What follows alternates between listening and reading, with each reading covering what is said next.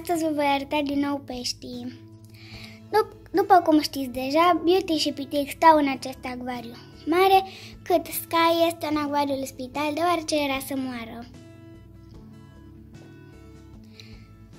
Uh, Pitic și Beauty sunt la fel ca înainte aici, tot așa se aleargă, exact la fel făceau și în celălalt acvariu mic, deci le era bun.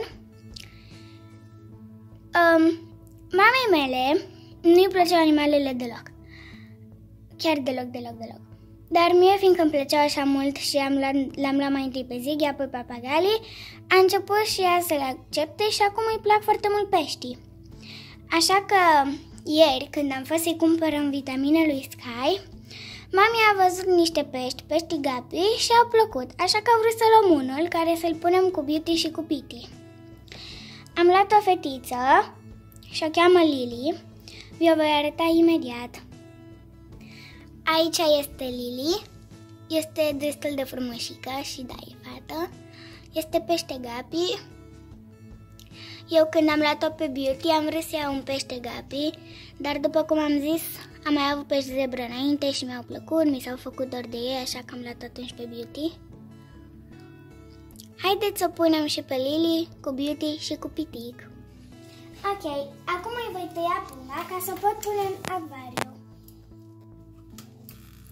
De obicei se taie foarte greu aceste pungi.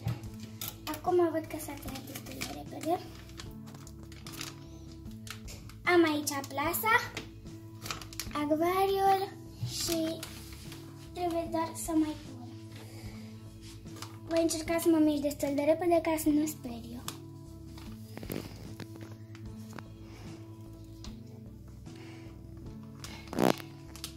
Este destul de rapidă, se pare.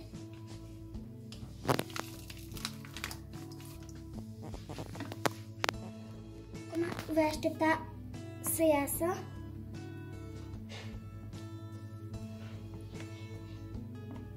A ieșit?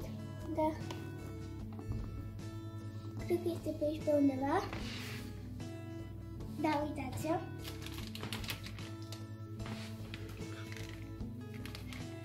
Se pare că se înțelege cu Beauty și Pitic. Da, îmi place cum arată și mamei mele îi place, deci o să păstrăm. Ne vedem data viitoare cu un nou video. Pa, pa!